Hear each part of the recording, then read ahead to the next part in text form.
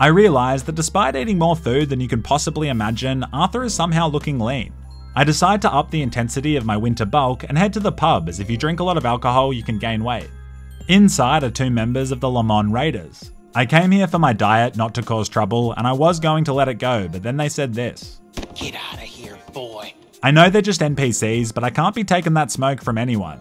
It's crazy playing games as sometimes you get to live experiences you never would, and I think that's really special and not talked about enough. For example, here I get to experience what it's like to have two wives.